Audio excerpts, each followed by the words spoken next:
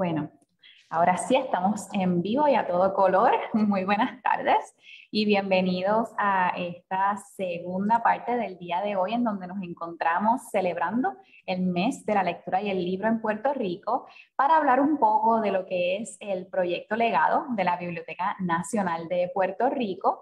Y eh, este proyecto hermoso que llevamos trabajando ya desde mayo del 2021, hace un par de meses, que tiene como propósito a llegar a la colección nacional las diversas publicaciones que se realizan en o fuera del país. Este proyecto eh, ha recibido un acojo muy chévere de parte de la comunidad editorial, pero también de los autores. Y me complace decir, ¿verdad?, que desde mayo ya hemos recibido más de 230 publicaciones y esto ha sido, ¿verdad?, una colaboración entre 15 editoriales y sobre 20 autores que han llegado, ¿verdad?, personalmente a la biblioteca o, como los tengo ustedes aquí, que han enviado esa, esa publicación a través de correspondencia para que llegue a manos de los puertorriqueños y puertorriqueñas que nos encontramos aquí, ¿verdad? En el archipiélago. Me es eh, muy grato tenerlos a ustedes aquí para conversar un poco sobre lo que es la publicación de obras sobre nuestro país o de y por puertorriqueños, pero desde la diáspora. Así que un, un saludo para todos y quiero presentarlos. Eh, tengo por aquí conmigo en el día de hoy al, al profesor doctor Aldo Lauria. Eh, un saludo, doctor, y realmente el co-confabulador para que este proyecto en la diáspora tenga el éxito que ha tenido, así que le agradezco muchísimo ese, em, ese apoyo y, y, pues nada, lo voy, voy a ir diciendo, ¿verdad? Hoy también tenemos aquí con nosotros a Rafael Ocasio y tenemos también a Ismael García Colón, todos son profesores en, en la diáspora y vamos a estar conversando con ellos, ¿verdad? Sobre sus distintos procesos eh, investigativos y también sobre las publicaciones que con mucho cariño donaron a la Biblioteca Nacional. Y eh, nada, quiero comenzar primero con Aldo, para aquellos que no tengan la oportunidad, ¿verdad?, de, de, conocer a Aldo. Aldo es graduado de la escuela secundaria de la UPR, estudió el bachillerato en Princeton y tiene una maestría de NYU y el doctorado de la Universidad de Chicago. Comenzó su carrera como profesor en la New School for Social Research y luego pasó al College of the Holy Cross.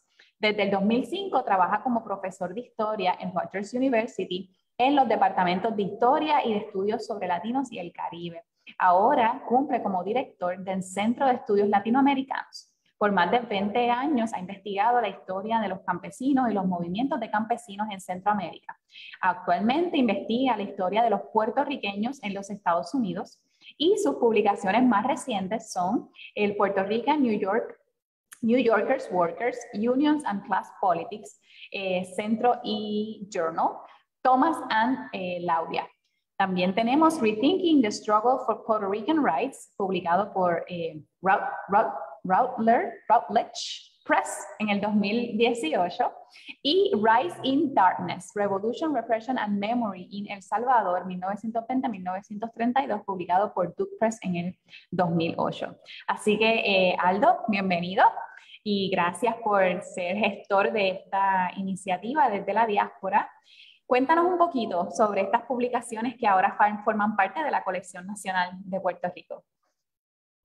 Bueno, muchas gracias por organizar el evento y saludos a todos y todas. Eh, eh, mi motivación en general ha sido tratar de aproximar buenas relaciones con las instituciones en Puerto Rico y especialmente después de María y todas las crisis que han habido, como que se agudizó eh, esa necesidad para mí personalmente. Eh, entonces, como parte de colaboraciones que estamos negociando con el archivo y con la colección puertorriqueña en la UPR, de repente me di cuenta de que eh, nuestros libros no llegan y no llegan porque no los pueden comprar a veces las instituciones y, y, a veces porque simplemente la información es muy limitada de cómo circulan, las bibliotecas no las tienen, las librerías no las tienen, los autores no se les ocurre enviar copias o las editoriales estadounidenses no, no consideran lo que es el espacio de mercado en Puerto Rico, que es distinto. Las traducciones son difíciles. Sacar versiones en español de los libros eh, es como otra, volver, a, volver a hacer el mismo libro que uno ya quiere olvidarse y pasar a lo próximo. Y entonces me di cuenta como que la cosa más natural era usar las redes que ella había desarrollado como parte del activismo de académicos de estudios puertorriqueños acá para invitar a la gente, a toda la gente que conozco y inclusive mucha gente que no conozco, les mandé la comunicación para que aquí está, una cosa muy concreta que pueden hacer, envíen una copia de sus libros, eh, que la directora va a anunciar que de repente hay una colección de autores puertorriqueños, especialmente autores puertorriqueños que escriben sobre temas de, pues, puertorriqueños en Estados Unidos y de Puerto Rico también. O sea, hay mucha producción eh, y hay que visibilizarla y hay muchas formas distintas de hacer eso. Este es uno de los modos. Eh, mi libro, eh, el que más quisiera destacar, porque yo trabajé mucho tiempo en Centroamérica, historia del Salvador, Guatemala y México, eh, pero eh, en los últimos 12 eh, años he estado trabajando la historia de puertorriqueños en Estados Unidos y con Lauren Thomas, que es una colega de Rutgers, de otro recinto de la Universidad de Rutgers, sacamos un, un review de la historia de los puertorriqueños en en Estados Unidos, las ciudades principales, especialmente de, la dinámica de los movimientos sociales, políticos eh, y económicos. Eh, ese es el libro que salió con Routledge. Puse en el chat de Facebook la, el, el, lugar donde se puede conseguir, pero ahora hay una copia en la Biblioteca Nacional de Puerto Rico. Y eso nos hace muy feliz, ¿verdad? Porque uno de nuestros roles principales es proveer acceso a la información. Así que la Biblioteca Nacional también como un medio para acceso a estas maravillosas publicaciones es para nosotros, ¿verdad? Una alegría poder contar con ellas aquí ahora. Y también algo eh, interesante, ¿verdad? Que es una publicación en inglés. Y aquí en Puerto Rico, ¿verdad? Pues, pues se publica también en inglés sobre nuestro país, pero de eso vamos a hablar en, un momentito. Quiero presentar ahora a eh, Rafael Ocasio. Él es el Charles Adana profesor de español en el Agnes Scott College, Decatur, Atlanta, en Estados Unidos. Ocasio es autor de dos libros sobre el escritor disidente Reinaldo Arenas, tiene Cuba's Political and Sexual Outlaw and the Making of a Gay Activist, Latin American Culture and Literature y Afro-Cuban Costumbrismo from Plantation to the Slums. Así que quisiera darle la bienvenida y también, ¿verdad?, que nos hable un poco sobre las dos publicaciones que envió a la colección nacional eh, y pues cómo se interesa por este proyecto. Muchas gracias, Hilda, y saludos calurosos desde una Atlanta a 35 grados. Y decir que tenemos 35 grados en Atlanta, nos estamos congelando acá. Eh, también saludos a, los boricuas y boricuas que nos están escuchando desde la isla. Eh, como Hilda mencionó anteriormente, mis publicaciones antes de estos dos libros, de los cuales voy a hablar en un momento, son sobre Cuba.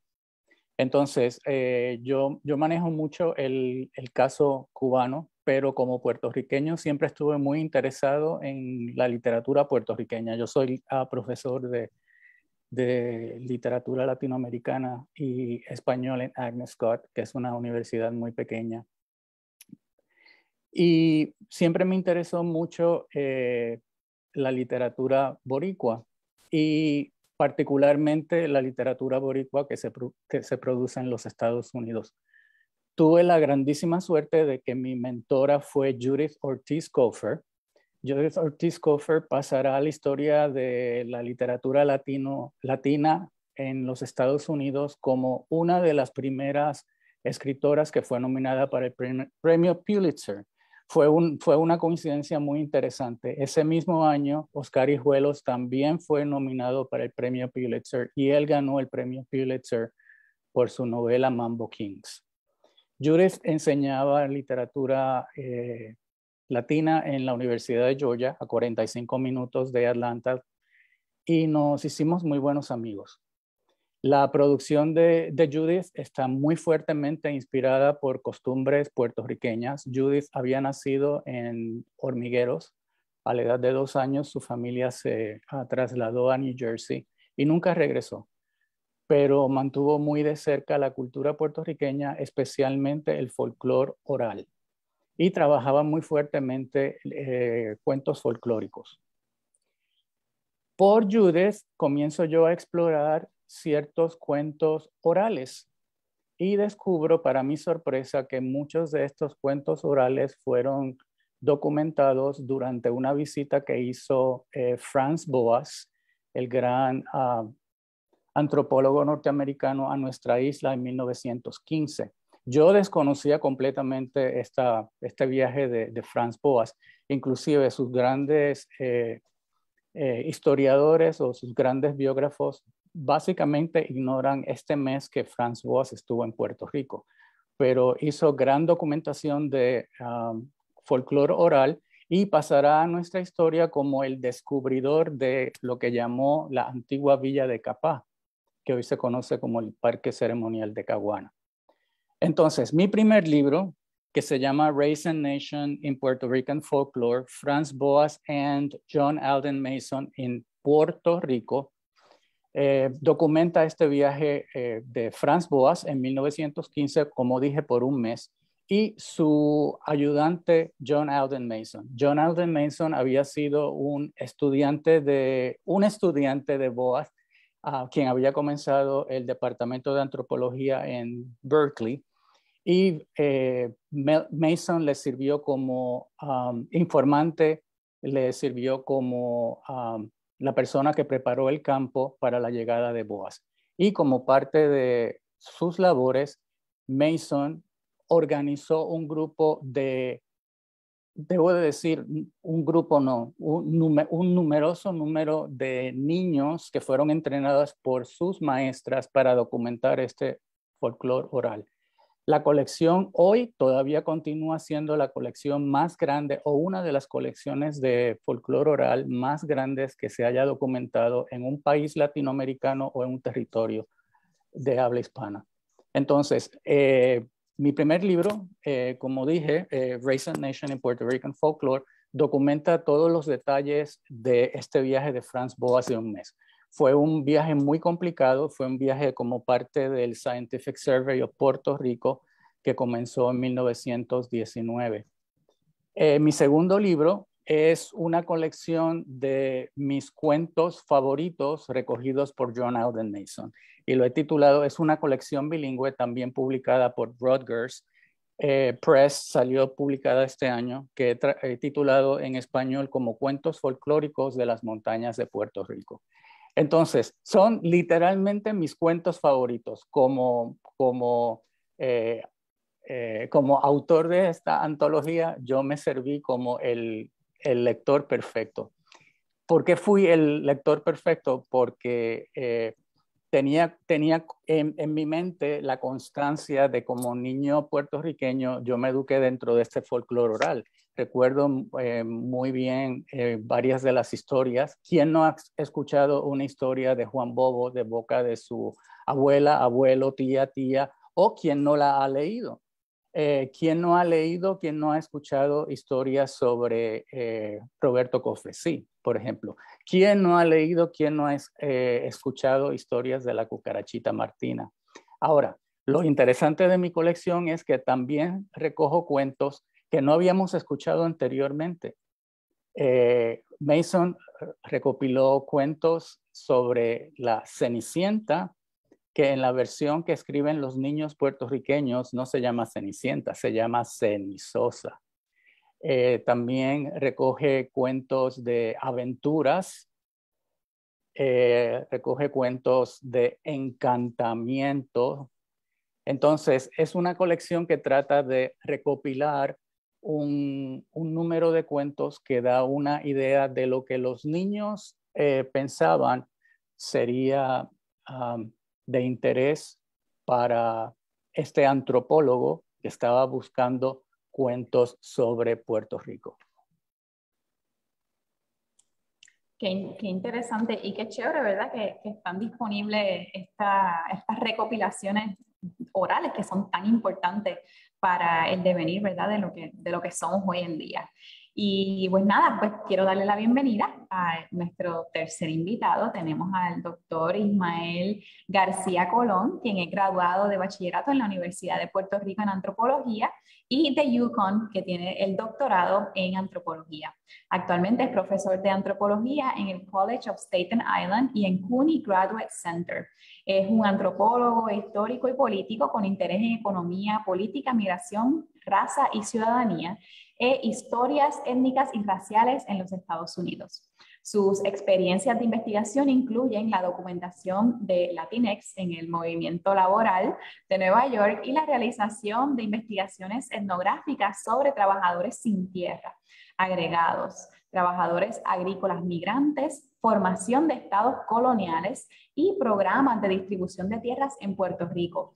García Colón es el autor de Colonial Migrants at the Heart of the Empire, Puerto Rican Workers on U.S. Farms, que fue publicado en 2020 por el University of California Press, y Land Reform in Puerto Rico, Modernizing the Colonial State, que fue publicado en la eh, University Press of Florida en el 2009.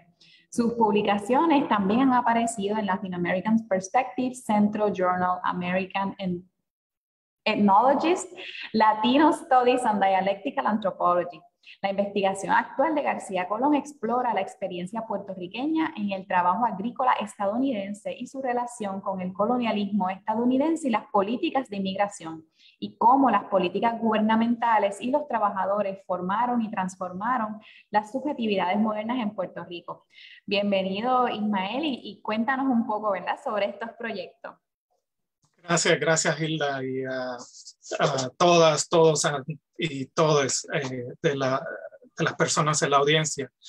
Eh, mi primer libro, Dan Reform uh, en Puerto Rico, eh, fue parte de mi investigación para el doctorado, mi tesis doctoral, en la cual entrevisté personas que habían sido agregadas, que trabajadores sin tierra, en plantaciones y y, eh, en haciendas en, Puerto Rico.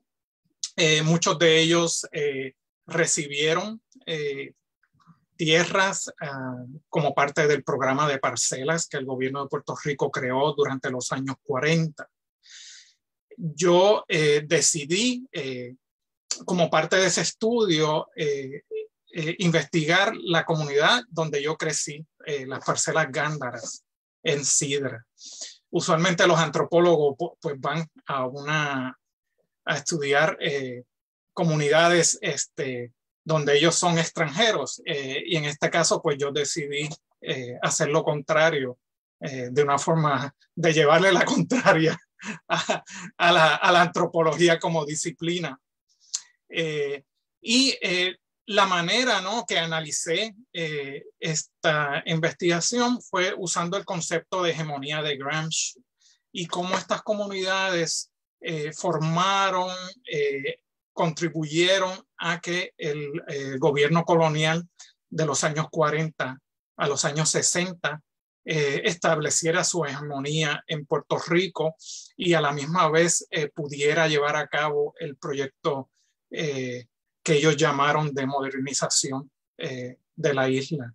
O sea que más que eh, hablar de las parcelas como apoyo electoral al Partido Popular Democrático, yo veo entonces cómo en realidad eh, eso contribuye ¿no? a cambiar la, la subjetividad de las, de las personas, de, de las personas de, de las áreas rurales en Puerto Rico, en esos, esos cambios profundos que pasaron a mediados, a mediados del siglo XX en, en la isla uh, o en las islas. Eh, como parte de esa investigación tuve la oportunidad de conocer muchos eh, de los parceleros que habían sido trabajadores agrícolas migrantes en los Estados Unidos. Y conversé con ellos en los años 90, para los años, eh, en los años 96, 97, eh, con muchos de ellos sobre, eh, sobre estas experiencias de migración. Y después tuve también la oportunidad de trabajar en el Centro de Estudios Puertorriqueños como archivero, eh, organizando las parte de las colecciones de la División de Migración del Departamento del Trabajo de Puerto Rico. Y allí pues este, organicé eh, muchas eh, colecciones que hablaban sobre esta migración de trabajadores agrícolas. entonces, luego, cuando ya me gradué, fui facultad, eh, inclusive empecé en Rutgers a enseñar a tiempo completo y allí empecé a hacer investigación sobre este, este programa de trabajadores agrícolas migrantes que el gobierno de Puerto Rico estableció en los años 40. Eh, uno de mis primeros artículos fue sobre una protesta que ocurrió en, en el ah, oeste de Nueva York, eh, cerca de la ciudad de Buffalo, donde los trabajadores agrícolas se rebelaron en contra de las autoridades locales, eh, protestando en contra de la brutalidad policíaca y segregación en esta pequeña villa 30 eh, minutos al sur de, de, Buffalo. Y luego eh, hice también historias orales en el sur de New Jersey.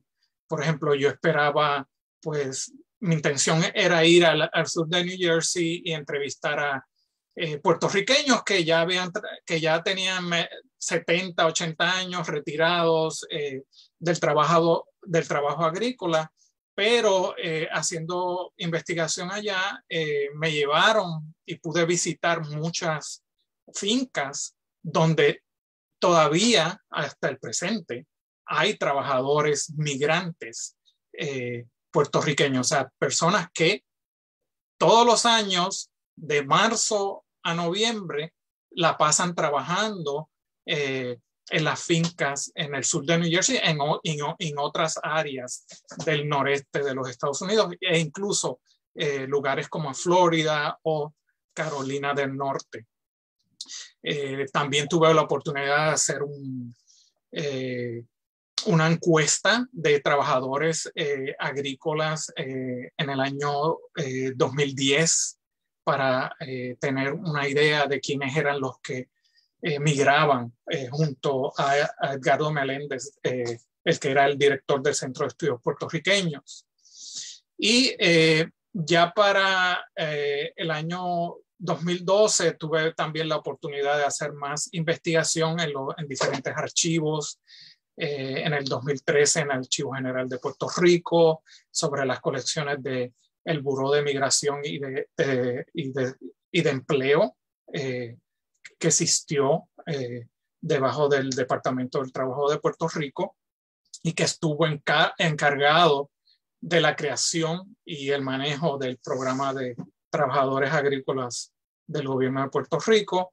Y pues eh, con todas estas investigaciones, también en los archivos nacionales, en el archivo del estado de New Jersey, en el archivo del estado de Nueva York, eh, empecé a escribir este libro que eh, fue publicado en febrero del 2020, antes de la, de la, del COVID y de la epidemia. entonces no he tenido tanto la oportunidad de visitar a Puerto Rico y presentarnos sobre este libro. Eh, sobre la historia de los trabajadores agrícolas eh, eh, y la migración hacia los Estados Unidos. Gracias por esta oportunidad. No, gracias, gracias a ustedes y que, ¿verdad? Que bueno, y me gusta porque ahora vamos a entrar a, muy bien, ¿verdad? Esta, a esta próxima pregunta que me da mucha curiosidad, ¿verdad? Porque realmente en Puerto Rico más de la mitad de, de lo que hay acá existe, ¿verdad? Puertorriqueños viviendo en la diáspora. Y es eh, increíble que tengan oportunidades para leer, ¿verdad? Sobre Puerto Rico, sobre los problemas, sobre eh, los diversos sucesos que nos han llevado hasta donde estamos hoy en día. Pero desde su experiencia, ¿verdad? Como, como investigadores eh, y como autores, que ¿Cómo es este proceso de, que se les publique en la diáspora, verdad? De, que sus publicaciones no, no, salen de aquí, desde Puerto Rico, son sobre Puerto Rico, ¿verdad? Pero salen desde sus instituciones o otras eh, publicadoras en los Estados Unidos. ¿Cómo ha sido su experiencia en ese proceso? ¿Quieres, ¿quieres empezar tú, Aldo?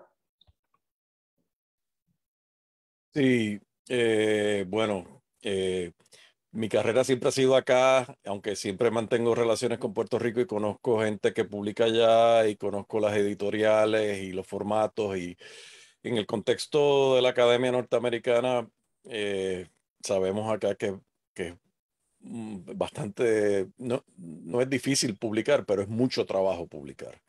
Eh, los manuscritos pasan muchas revisiones del editorial, de lectores anónimos a, quien se les envía el manuscrito eh, y todos los profesores acá que están, que no tienen la permanencia, que no tienen tenure, eh, saben que la cultura es sudar bastante ese primer libro, si es que les requieren un libro, ¿verdad? En algunas instituciones no es así, son artículos o eh, pero para la publicación de libros, usualmente la primer monografía académica de uno es para conseguir la permanencia. Eh, eh, en el caso de mi trabajo sobre los puertorriqueños, ya yo tenía varias publicaciones anteriores y varias colaboraciones anteriores y lo difícil fue la parte de coordinar con mi coautora Lauren Thomas y tratar de producir un libro que tuviese un appeal, eh, un mercado un poco más eh, introductorio, sin ser simplista, ¿verdad? Que se pudiera usar en cierto tipo de cursos, que cualquier persona con interés pudiera leerlo y entenderlo, y a la misma vez dar una interpretación nueva con materiales de archivo nuevos eh, y usualmente esas dos piezas no son compatibles, o sea, o tú haces un libro introductorio o citas muchos documentos nuevos y archivos y te tarda miles de años y, y, y, tienes miles de citas, notas al calce. Eh, y, eso fue la parte difícil de ese libro en particular, eh, hacerlo en 200 páginas, pero para casi todas las piezas no simplemente recitar lo que ya se conocía, sino tratar de, introducir materiales nuevos, casos nuevos, gente nueva, narrativas nuevas, eh, y, salirnos un poco del, del, espacio donde Lauren y yo conocíamos bien la ciudad de Nueva York, pero las otras ciudades y los espacios rurales o las ciudades pequeñas no se han investigado, entonces había que buscar algún cuento, alguna pieza para dar esa diversidad, porque eh, son historias que en el caso nuestro, eh, de nuestro libro, es desde la posguerra, desde finales de los años 40, pero también eh, las historias llevan desde los años 10, o sea, eso ya es otro manuscrito que, que viene en proceso. Excelente. Rafael, ¿qué tal tú? ¿Cómo ha sido esa experiencia de llevar a cabo tus publicaciones desde la diáspora? Estás en mute. Yo, yo tuve mucha suerte porque a diferencia de, bueno, como Ismael, eh, la antología bilingüe salió durante la pandemia, pero tuve la gran suerte de que el día que Rutgers oficialmente lanzó al mercado la antología, tuve una lectura fiesta de lanzamiento que organizó la Biblioteca Juvenil de Mayagüez. Y eso, y eso yo lo vi como, yo lo vi como, como un mensaje de, de, de Judith, porque la madrina, la madrina de este libro es Judith Ortiz Coffer. Entonces, eh, he tenido muy buen, uh, muy buena, uh, muy buen acercamiento, eh, no solamente en Puerto Rico, sino eh, puertorriqueños en la diáspora He recibido eh, numerosos mensajes de la diáspora felicitándome por el, no solamente por el libro, sino por hacerlo bilingüe. Para, para muchos en la, la, diáspora que lee español, no, no, no, estoy diciendo que no leen español, pero su, sus, sus, destrezas no son tan avanzadas y eh, se sienten muy bien recibidos en cierta forma de que el libro también, los cuentos también los traduje al inglés para que pudieran eh, entenderlos completamente. Eh, y, nada, eh, me, ha parecido, yo como puertorriqueño que he vivido toda mi vida de adulto en los Estados Unidos, sé sobre el gran deseo que la diáspora tiene por conocer sobre la cultura, pero jamás me imaginé que fuera tan fuerte. Eso, eso me emocionó mucho. Y como bien dices, la realidad es que está llevando eh, nuestra literatura a una población que, que la realidad es que ya no hablan español o no lo hablan tan bien. Así que también, ¿verdad? Es una cuestión de accesibilidad, ¿verdad? Accesibilidad a lo que somos y a, cómo llegamos a hacerlo en, el idioma en que se entiende. Que usualmente, ¿verdad? Eh, eh, si nosotros lo miramos desde esta perspectiva, es, al revés, ¿verdad? Acá hay mucha población que no habla inglés, ¿verdad? En la isla eh, no hay muchas personas que todavía dominan el inglés y se les hace más cómodo entender específicamente ¿verdad? literatura eh, o, o, textos ¿verdad? bien académicos. Se leen más fácil en español, ¿verdad? Así que, que es bien interesante esa dualidad de una misma comunidad, ¿verdad? Porque todos somos boricuas. Así que, eh, nada, voy esto. Hola Ana, ya te veo, te presento ya mismito. Gracias por conectarte. Eh, voy entonces donde, con Ismael. Ismael, eh, para ti, ¿cómo ha sido esta, esta experiencia de, de, la publicación desde la diáspora? Eh, como mencionaba Aldo, ¿no? mi, mi primer libro es prácticamente mi tesis doctoral y es, yo creo que el primer libro es, uno está corriendo ¿no? para, para obtener la, la permanencia. Eh, y el interés sería más en Puerto Rico. Y, ese libro ya está traducido hace bastantes años al español. Eh, y yo ando buscando todavía eh, quién lo publique. Pero cada vez que ya consigo a alguien que lo va a publicar, sucede algo, especialmente lo primero fue la crisis económica eh, eh, del 2008, ¿no?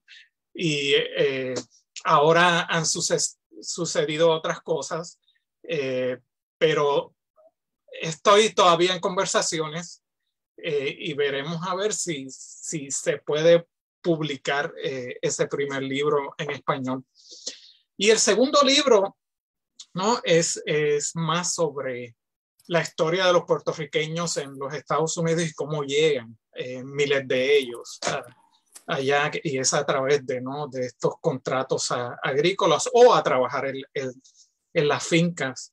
Y siempre que yo este segundo libro y el primero también, pues yo lo escribo pensando que eh, las personas que de quien estoy hablando lo van a leer, aunque son libros que incluyen eh, teoría, eh, teoría antropológica y de las ciencias sociales. Eh, la manera que yo trato de escribirlo ¿no? es que eh, cualquier persona lo, lo pueda entender.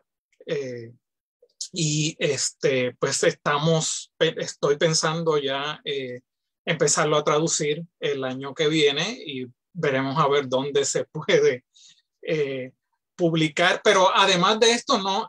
con, he trabajado con el Centro de Estudios Puertorriqueños en una eh, publicación, digital, eh, una exhibición digital sobre esta historia eh, de los trabajadores agrícolas en los Estados Unidos para que este, el público y aquellos que enseñan sobre la migración de los puertorriqueños pues tengan acceso ¿no? a, esta, esta historia de otra, de, en otro formato que no es necesariamente el escrito. Eh, y eh, estamos trabajando también con eh, un ah, fotógrafo puertorriqueño que en los años 70 tomó fotos de trabajadores agrícolas y ojalá que se pueda dar también una exhibición en Filadelfia o en Nueva York sobre usando estas fotos para hablar sobre esta historia de los puertorriqueños. Eh, pero toma muchos años, ¿no? El, este segundo libro que no, estaba, no lo estaba haciendo en, esa, en ese ajoro, ¿no? para, para, para, el, para, la permanencia. El, el primer, la primera investigación fue en el 2005, ¿no? Y no se publica hasta el, el 2020. Eh, claro, este me tomó mucho tiempo porque estaba, mi, primero mi universidad no es de investigación, enfatiza más la enseñanza, también es, fui director del departamento, de un programa de maestría en todo ese momento, eh, pero yo diría que quizás tengo más, más recursos, ¿no? Que eh, trabajando o enseñando en Puerto Rico para la publicación.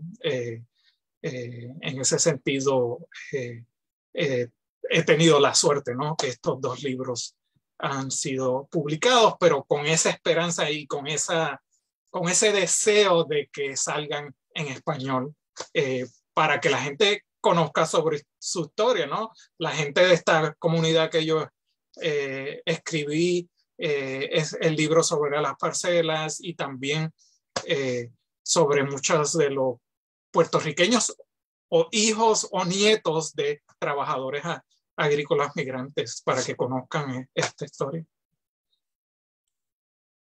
Muchísimas, muchísimas gracias, sí, y la verdad es que eso es bien importante, porque existe la posibilidad de aquellos de los que uno escribe que puedan leer sobre ellos, ¿verdad? Y, y, lo que se tiene que decir. Entonces, quiero ahora, ¿verdad?, darle la bienvenida a Ana. Eh, Ana Ramos, eh, Voy a presentarte aquí bien rapidito. Es catedrática y directora del programa de Etnia, Raza y Migración con afiliación en el Departamento de Antropología en la Universidad de Yale, donde obtuvo su bachillerato en Economía. Completó su maestría y doctorado en Antropología en Columbia y es autora de National Performances, Class, Race and Space in Puerto Rican, Chicago, Street Therapies, Race, Affect, and Neoliberal Liberal Parenthood in Latino Newark y Parenting Empires, Class, Whiteness, and the Moral Economy of Privilege in Latin America. Eh, su investigación se centra en la etnografía y examina redes afectivas de inequidad y raza en las comunidades latinas en Estados Unidos, Brasil y Puerto Rico.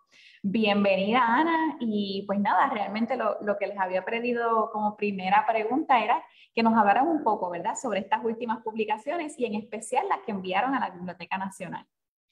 Muchísimas gracias. Primero que nada, lamento estar tarde, fue que puse la hora, puse mi, en mi calendario a las dos, pero pensando que iba a ser a las dos horas de, de Estados Unidos y siempre se me olvida que ya fue el cambio de hora. Así que lamento estar tarde, pero corrí, corrí hasta acá y llegué, llegué, Muchísimas gracias por organizar este, esta conversación. De verdad que me encanta. Me siento como que muy pocas veces tengo oportunidad de compartir, eh, raro, pero muy pocas veces tengo eh, oportunidad de compartir con gestiones que se hayan generado en la isla. Casi siempre cuando estamos en, en conferencias o en, en, en diálogo, eh, tiende a ser con espacios de acá de Estados Unidos nada más. Así que es, un honor realmente. Eh, creo que me preguntaron, por lo que me comenta el colega Aldo en el chat, que estábamos hablando primero de nuestros libros y después de la cuestión de producción y de circulación de los trabajos. Esa es la, ok, este, sí, pues yo la mayoría de, mi trabajo, mi trabajo inicial, que es el trabajo mío de tesis y luego el primer libro después de, el segundo libro después de la tesis, fueron hechos en comunidades latinas de Estados Unidos, puertorriqueñas específicamente.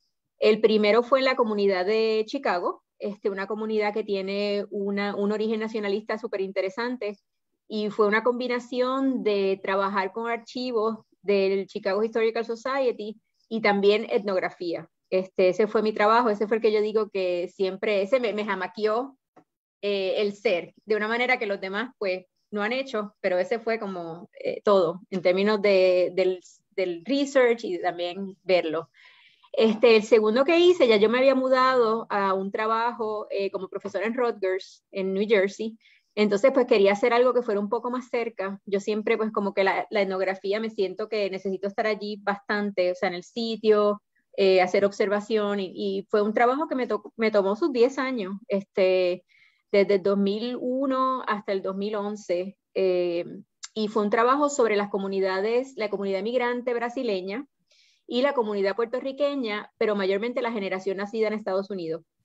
Y esas son las dos comunidades principales que representan, cada una representa ese tipo de demografía. Entonces la comunidad este, brasileña es la más grande, entre, o era en ese momento la más grande entre las comunidades emigrantes, y la comunidad puertorriqueña en ese momento también era la más grande, que tenía una segunda generación.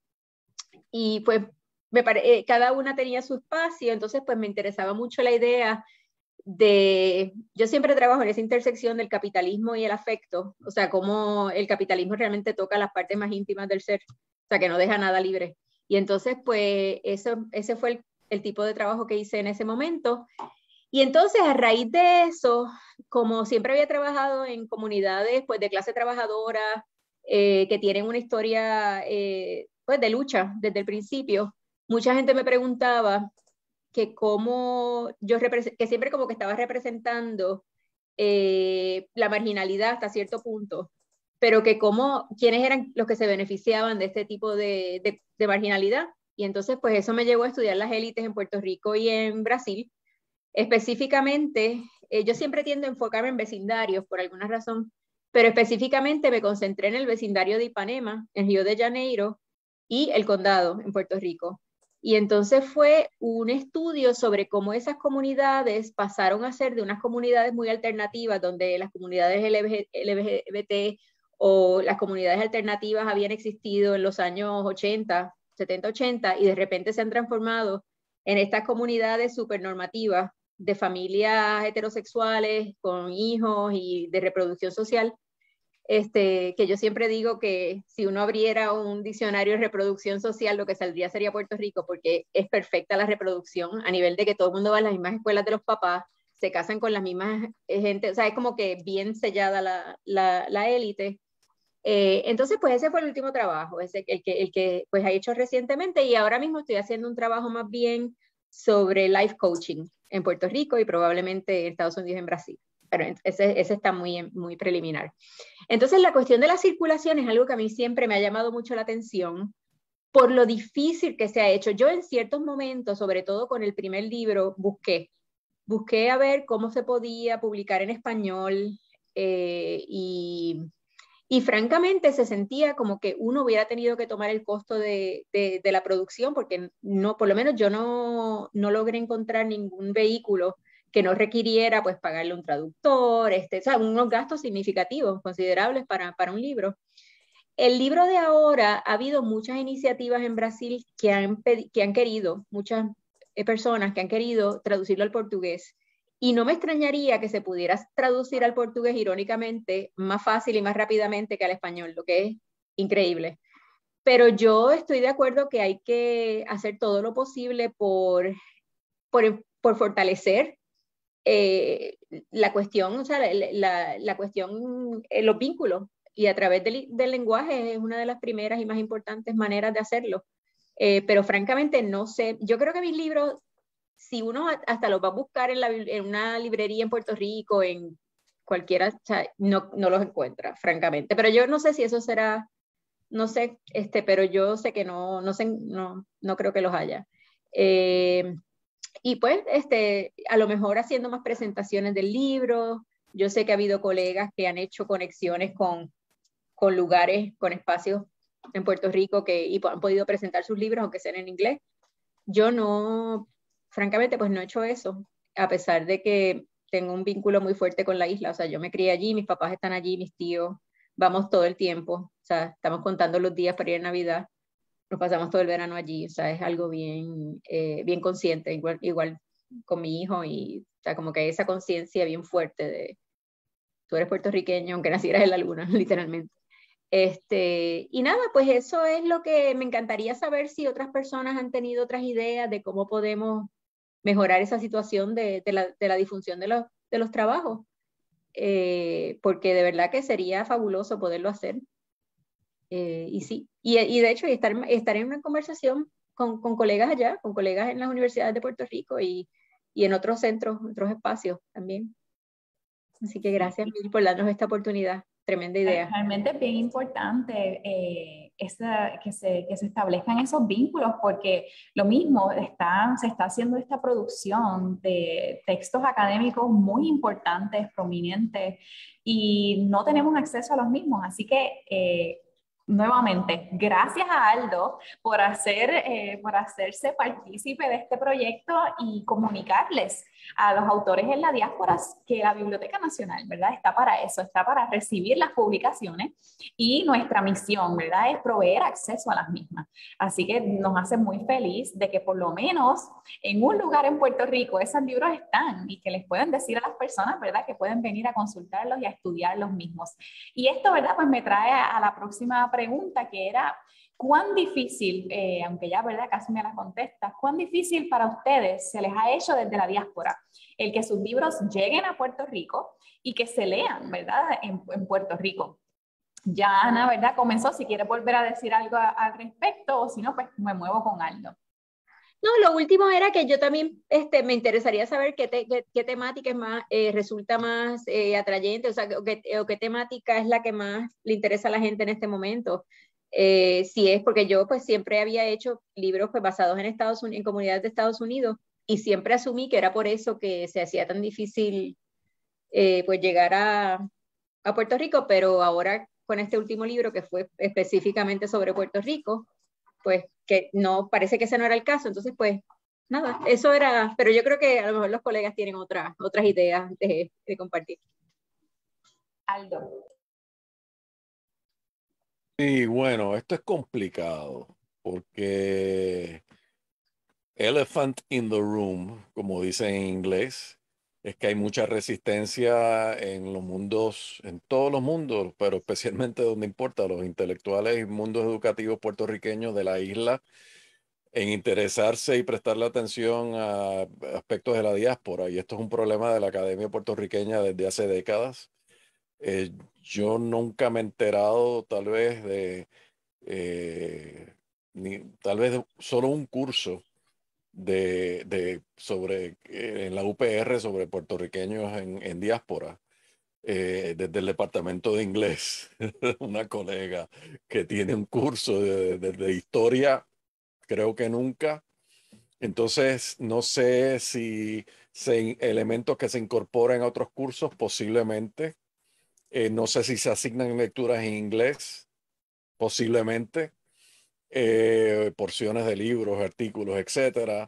Eh, no, no sé si en general es distinto a los cursos que están en dentro, más avanzados dentro de las facultades. Pero hay un problema ahí serio, siempre lo ha habido. Algo tiene que ver con el idioma, ¿verdad? Con que no se traduce la mayoría de los libros que salen acá. y, y sabemos que siempre hay redes personales, o sea, no es tanto la falta de información de que déjame buscar un libro o un artículo que quepa dentro de mi curso, ¿verdad? Y ahí pues la, la crítica se la hago a, a, los colegas y que la tomen como quieran, ¿verdad? Pero eh, el dilema también es traducir es un trabajo grande. Yo, mis libros han sido traducidos al español, pero son los libros que tienen que ver con El Salvador, donde la infraestructura, bueno, las instituciones tomaron la traducción desde allá y manejaron, iniciaron, buscaron traducción, en algunos casos subsidiaron los, los, gastos, aunque yo también tuve que, contribuir a eso. Eh, y no sé, me parece que dentro de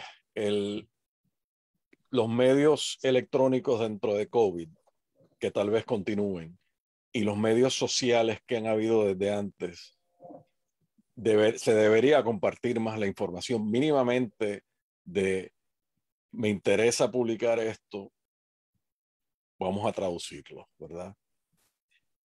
Yo, yo traté de, de, investigar la publicación en español de, de, este último libro y me di por vencido, porque el, el tema era, tienes que movilizar tus amistades, not just send an email. And I'm like, I don't have time for that. I sent three emails. I didn't get a response. I tried again with another publisher. I didn't get a response. O sea, o sea, hay problemas desde la isla en producir estas vainas, ¿verdad? Y, y obviamente, let's, let's change this, cambiemos la cultura mínimamente la información bibliográfica. Secundariamente, producir información para el que quiera manejar la traducción de su libro, que, que no tenga que reinventarse todo, eh, buscando, bueno, quién publica, qué editorial sobrevivió, qué dónde está el programa de traducción de la UPR, que sabemos que es bien importante para este tipo de cosas. Eh, y, y, entonces buscar también la forma de hacer que los profesores dentro de la academia puertorriqueña respondan con, con la pregunta, ¿qué pongo? ¿Qué hago? Si no saben, que pregunten, ¿verdad? Eh, Sí, estoy de acuerdo, ¿verdad? Hay que, hay que renovar los prontuarios. hay que renovar los prontuarios eh, para, para, tener oportunidades de, tener visiones distintas, ¿verdad? Sobre, sobre temáticas y darle una oportunidad de, ser escuchado. Eh, las diversas editoriales con las que he estado hablando durante las pasadas semanas es una constante, ¿verdad? Que, que inclusive para las mismas editoriales que están aquí en Puerto Rico se les hace bien difícil publicar, ¿verdad? En, en Puerto Rico sacar un libro es bien costoso. Aquí no hay una, una, infraestructura, ¿verdad?, que promueva el libro. Y tiene que ser a costa de, de, aquellos que con alma, vida y corazón, pues sacan sus ahorritos, montan algo, ¿verdad? Y, y, tampoco genera ningún tipo de ingreso, ¿verdad? Así que esto es por amor al arte, ¿verdad? Y, eh, y eso es algo pues, que, que necesita mucho trabajo. Eh, en tu caso, Rafael, ¿Cómo ha sido, cómo ha sido esta experiencia con, con, tus libros en Puerto Rico? Me encanta escuchar que la Biblioteca Juvenil de Mayagüez te hizo esa presentación. Eh, ¿Cómo llegaste a ello, verdad? Esto es una, una, experiencia bien chula, me imagino. Sí, fue, fue una experiencia eh, no solamente agradable, sino una experiencia que me llenó el corazón como, como puertorriqueño. Eh, Quizás, quizás porque el libro que, se, que lanzó la Biblioteca Juvenil de Mayagüez es una antología bilingüe sobre cuentos folclóricos puertorriqueños, pues mi, mi libro ha tenido una aceptación que es muy diferente a la que Aldo ha, ha, mencionado anteriormente. Eh, es, es, un libro que, que, apela al interés por la narrativa folclórica puertorriqueña, que siempre ha sido muy fuerte tenemos, tenemos una tradición literaria folclórica eh, muy extensa durante todo el siglo XX y durante el siglo XXI. Como mencioné, el folclore puertorriqueño, eh, tanto oral como, como escrito, ha sido material eh, educativo tradicionalmente. yo recuerdo, para mí fue muy interesante eh, organizar esta antología porque yo recuerdo muy, muy, muy bien todos los cuentos que yo leí de niño en el Colegio San Agustín. Yo soy de Puerta de Tierra. Eh, y luego posiblemente puedo hablar un poco sobre mi conexión eh, de un niño de escuela en el Colegio San Agustín y la Biblioteca Nacional, que está literalmente a la vuelta de la esquina. Entonces, lo que yo he hecho personalmente, eh, mi familia reside ahora en el viejo San Juan y tengo, tengo muy buenos contactos con la librería Laberinto. La librería Laberinto ha vendido muy bien mis, la, la antología. Eh, pero nuevamente reconozco que se está vendiendo porque es una antología literaria, no es no es una, biografía crítica como el primer libro, que es literalmente una biografía crítica sobre Franz Boas y su viaje a la isla, que son, son dos libros completamente distintos. Que me encantaría publicar la, biografía crítica de Franz Boas en español, por supuesto. Que la, podría traducir como, como profesor de español, por supuesto. Yo podría traducir muy fácilmente mi propio libro que sería muy fácil hacerlo. Eh, ahora no recuerdo si fue Aldo. Es, es horrible traducir. Y traducirse a, uno mismo todavía es mucho más difícil. Ismael, ¿qué tal tú? ¿Cómo ha sido tu eh, experiencia?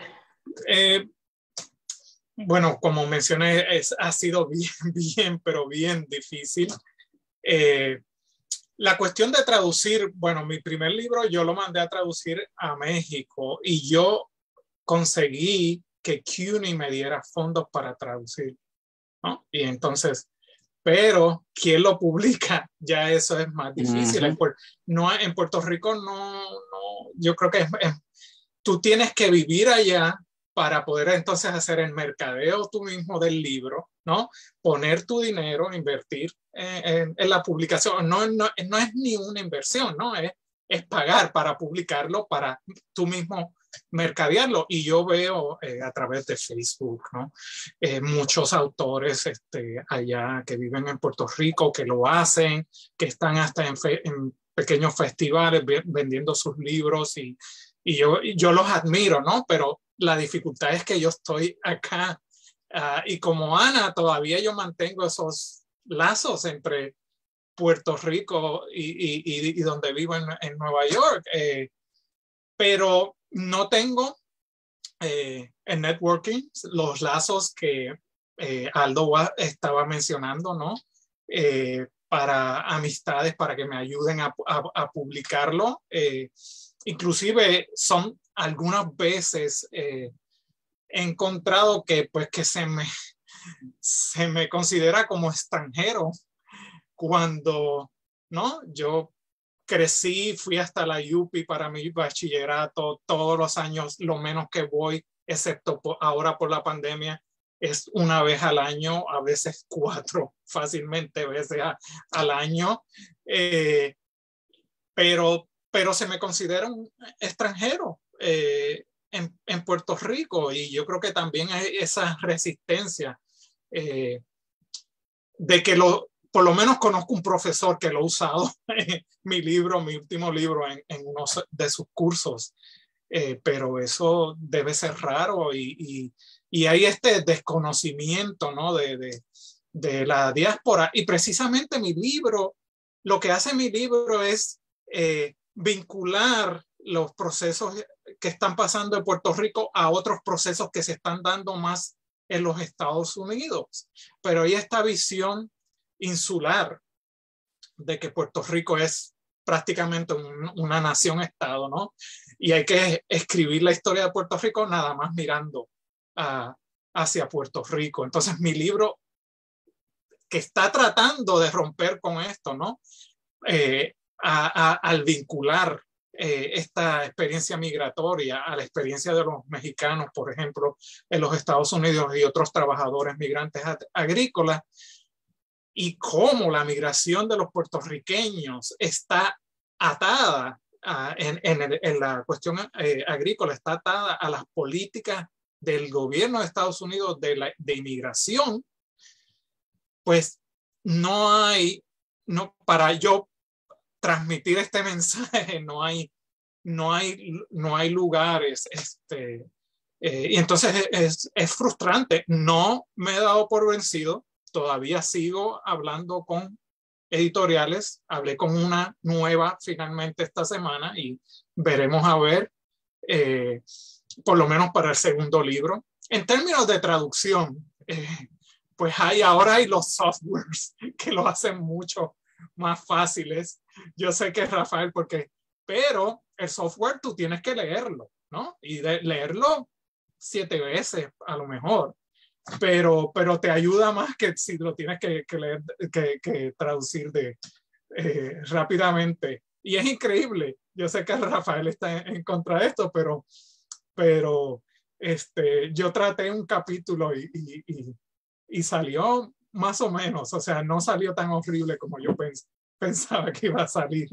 Este, y ese es mi, como no tengo oh, ya, eh, o sea, hasta que no publique el primero, no puedo pedir fondos para traducir el otro. Entonces, me veo en esta disyuntiva de yo, yo por mí mismo traducir el segundo, eh, el segundo libro, porque mandarlo a traducir este, cuesta mucho, mucho dinero, más pagar eh, en la publicación. Entonces es una cuestión de que a pesar de que tenemos muchos recursos acá en los Estados Unidos para nosotros, ¿no?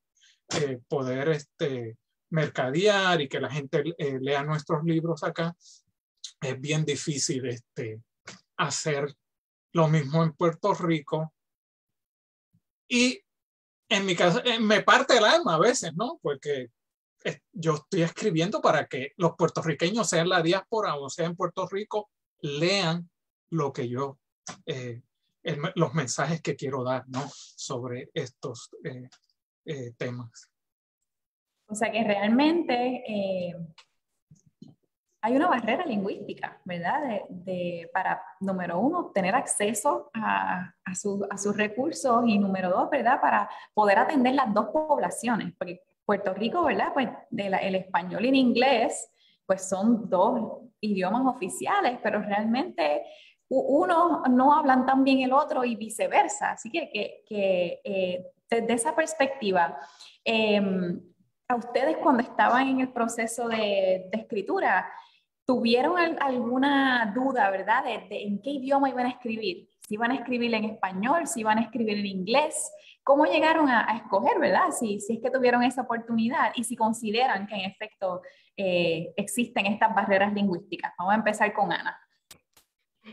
Mira, yo, la única razón por la que yo no lo consideraría o, todavía es porque, irónicamente, con todo el trabajo que me, que me costó aprender a escribir inglés, yo no tuve nunca eh, el entrenamiento de redacción en español que, que, esté al mismo nivel de como escribo en inglés. O sea, yo, este, a diferencia de Ismael, que estuve en la UPI, yo me fui de chiquita, o sea, no de chiquita, de, me fui de, a estudiar, eh, me fui a estudiar college en Estados Unidos y realmente mi español está a nivel de cuarto año de high school yo puedo escribir un paper de cuarto año de high school, pero en realidad eh, cuando yo leo lo que los colegas escriben en español, entiendo perfectamente, me queda claro que yo no puedo escribir de esa manera. Este, así que por eso es que nunca me lo planteé.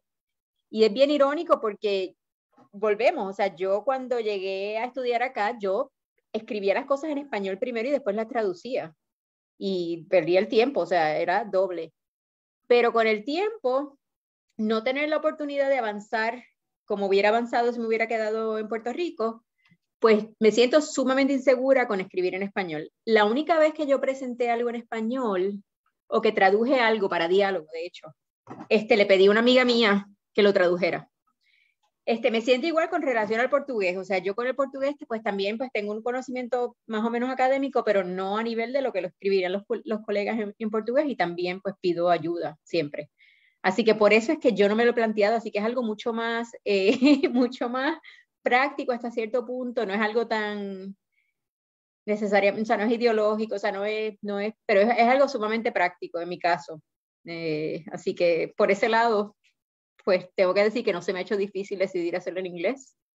Además de que también eh, al principio pues fue porque uno tenía que estar en este proceso de permanencia y de pasar por ese proceso de tenure que pues los libros en inglés, como, la, como también la, la, Academia Norteamericana es bastante colonial en eso, los libros en inglés son, es lo que se espera, ¿no? Entonces, si uno tiene un libro en español, pues no es un libro que le cuente tanto como para ese proceso de, de tenure, como cuando uno lo escribe en inglés, y no todo solo en inglés, sino con ciertos, ciertos casas publicadoras, o sea, porque tampoco es con cualquiera, o sea, tienen todo este rango de...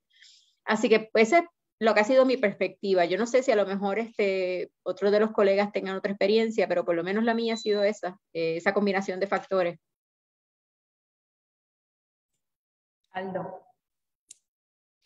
Sí, eh, o sea, la, motivación profesional acá eh, obliga a uno a, escribir en inglés y a publicar en inglés primero, pero me parece que ya es tiempo que empecemos a buscar alternativas sistemáticas de, o sea, una es una cosa que, Ismael y yo hemos hecho, eh, la versión blog de nuestros libros, y, tenemos unos blogs que puse en el chat de Facebook eh, con el Centro de Estudios Puertorriqueños que salieron tal vez hace un poco menos de un año.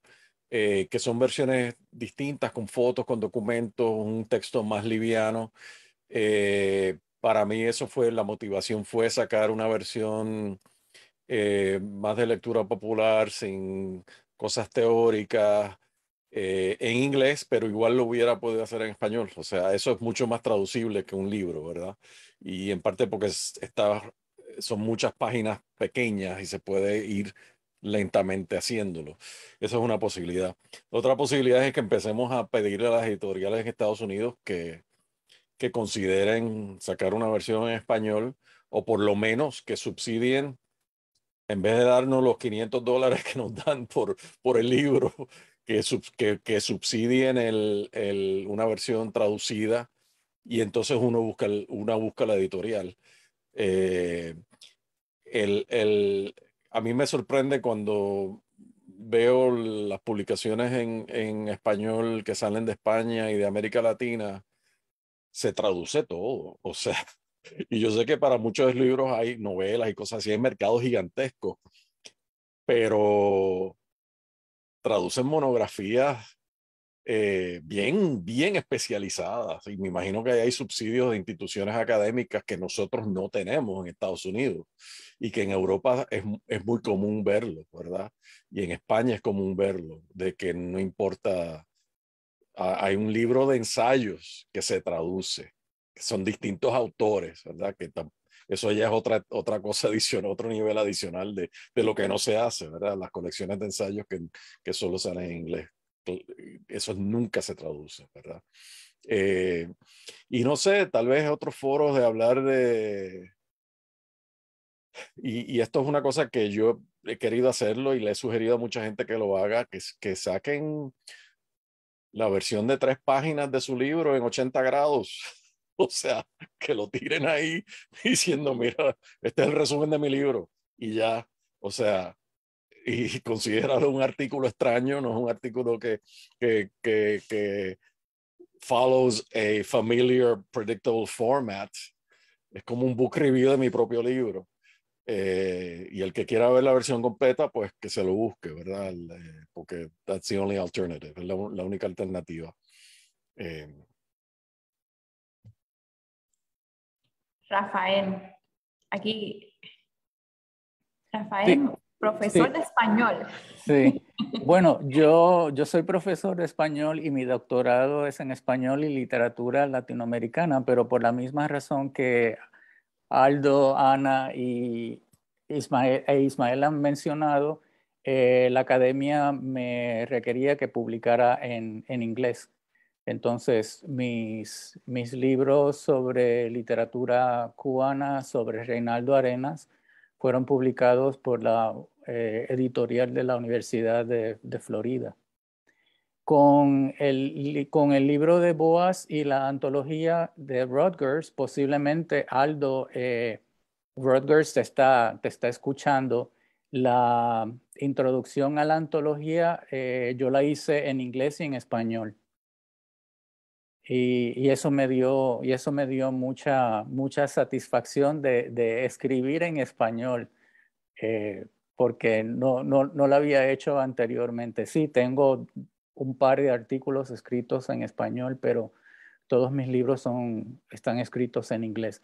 Entonces, sí, Aldo, posiblemente lo que tú estás mencionando es que, los, que las editoriales académicas de los Estados Unidos se han dado cuenta que es un mercado que no están entrando. El mercado latinoamericano eh, y puertorriqueño, la mayor parte de las ah, publicadoras académicas lo tiene completamente abandonado.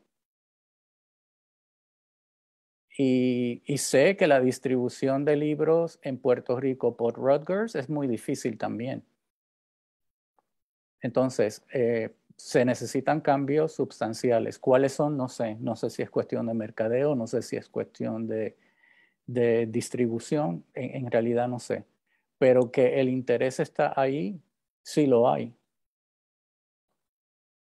La, realidad es que eh, tú, yo tuve una experiencia con un autor eh, que también, ¿verdad? Hizo una publicación infantil en inglés eh, y se le ha hecho bien difícil poder también trabajar la publicación en español, pero más aún promocionar el libro en Puerto Rico. O sea que también, ¿verdad? Desde la, editorial que produce el libro, pues no, no, voy a decirlo así bien feo, ¿verdad? Pero como que no tiene interés en que el libro llegue a Puerto Rico, ¿verdad? Y, no hace los esfuerzos para acercarse eh, a, librerías o, hacer presentaciones de libros.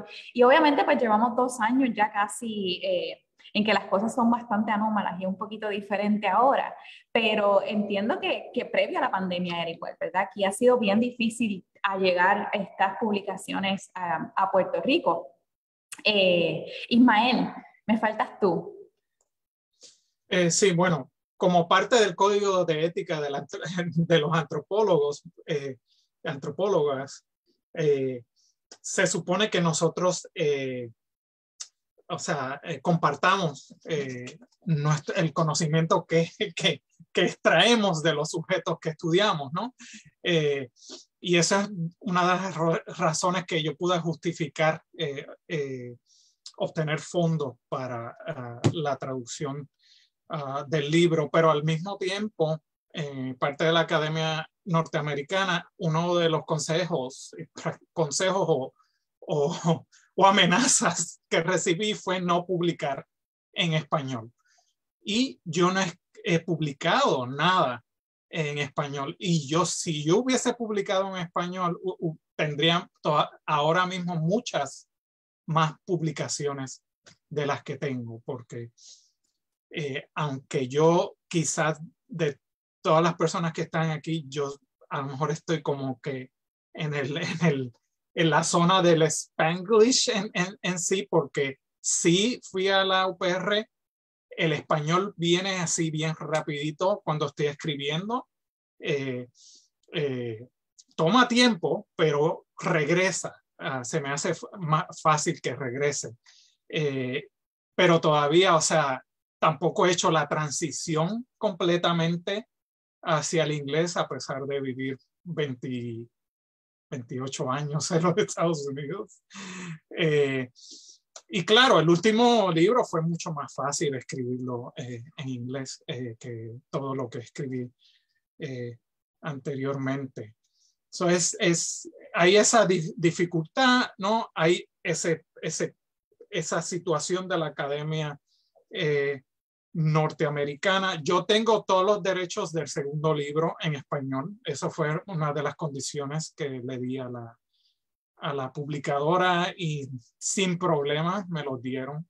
Eh, y eso debe estar presente en aquellos que quieran eh, que estén publicando en los Estados Unidos en inglés, que mantengan sus derechos en español. Eh, pero sin, no, si no hay el, no hay los recursos en Puerto Rico, es mucho más difícil eh, lograr eso y, y no tenemos que depender de, de, publicadoras privadas, ¿no? De, mis libros fueron eh, publicados por editoras de universidades. Y entonces el, decir esto en Puerto Rico, o sea,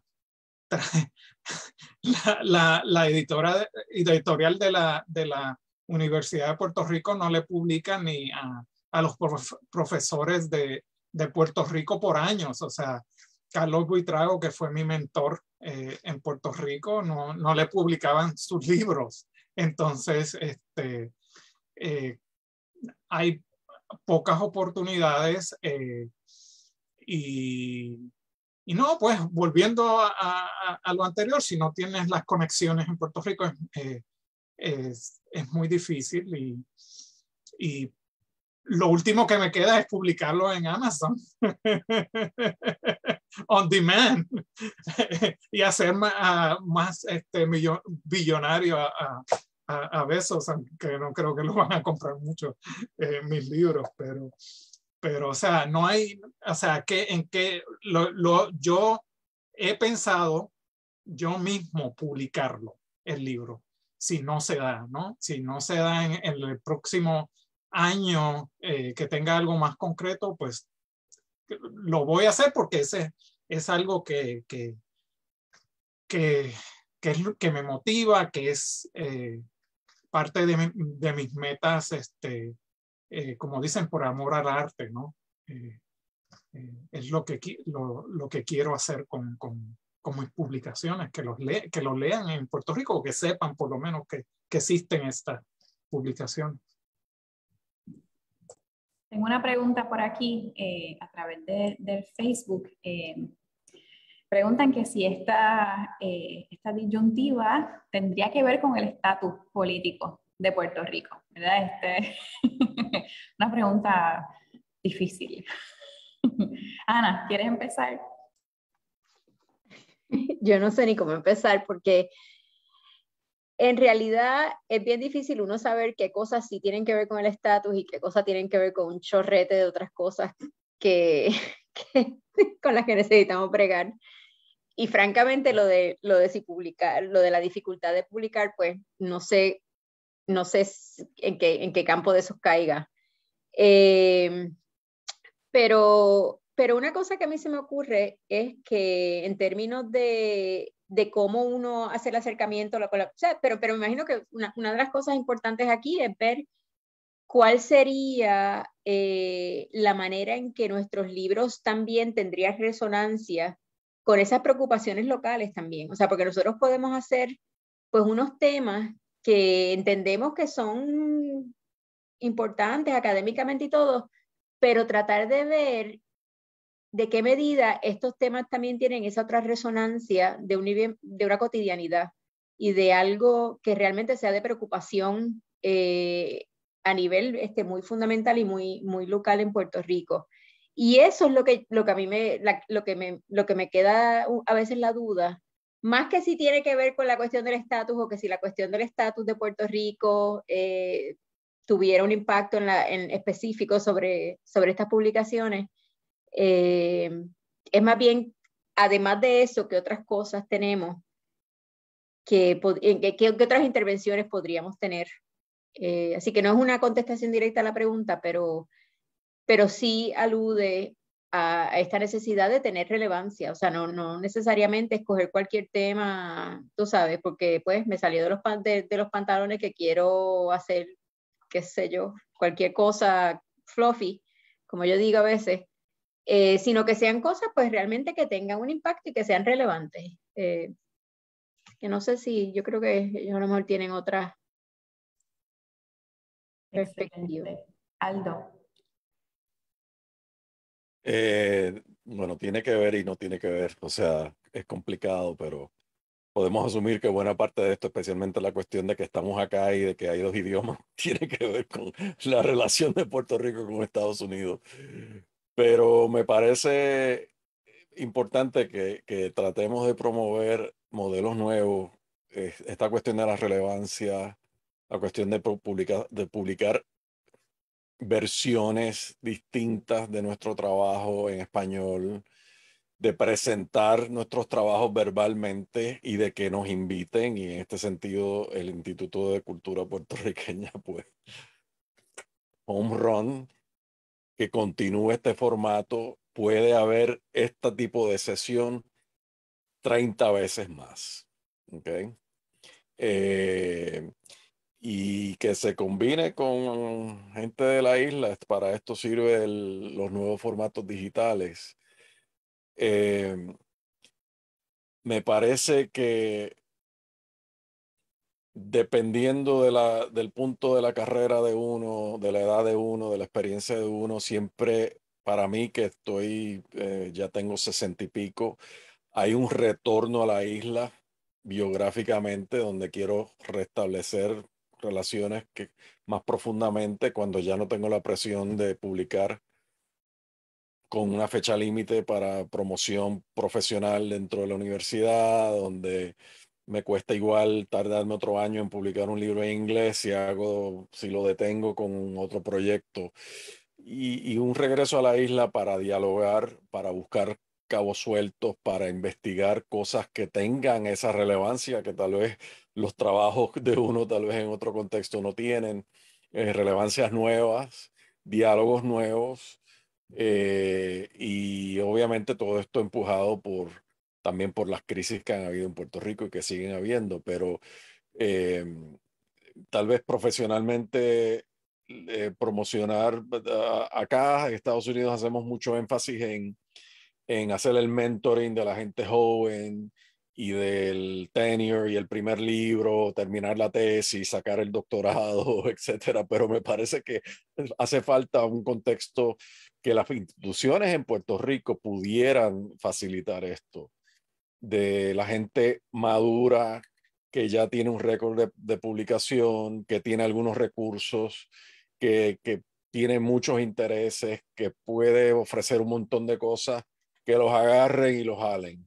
Y biográficamente sé que, que, que llega un momento donde uno quiere retornar con alguna conexión, e inclusive, bueno, para mí es pasar más tiempo en la isla cada vez. Yo voy cuatro, cuatro veces al año, pero el plan es tener la mitad del año allá. Eh, para eso hay que darle un poco de, de cabeza al asunto, pero eh, hay muchas posibilidades. Rafael, ¿qué te parece? ¿Qué podemos hacer para, para, para mejorar esto? Bueno, de, definitivamente la contestación es sí. Eh, el, el, impacto, el impacto que tiene el uso del, del inglés como, como significante o como o como símbolo de, de una identidad eh, es muy controversial en, en Puerto Rico. En, en, cierta forma, los puertorriqueños en la diáspora somos un poco así como a la vanguardia porque este fenómeno está pasando alrededor de toda Latinoamérica. O sea, no, no solamente estamos hablando de una diáspora monolingüe eh, puertorriqueña. Eh, pasa lo mismo entre los mexicanos, pasa lo mismo entre los dominicanos, etcétera. Entonces, es un concepto ideológico muy, no solamente muy político, sino muy personal. Yo, yo conozco personas que han vivido en este país por literalmente toda su vida y aún, y aún, se, aún hoy en día se rehusan a hablar inglés a menos que sea absolutamente necesario. Eh, y es una decisión que es muy personal y se la, y se la respeto.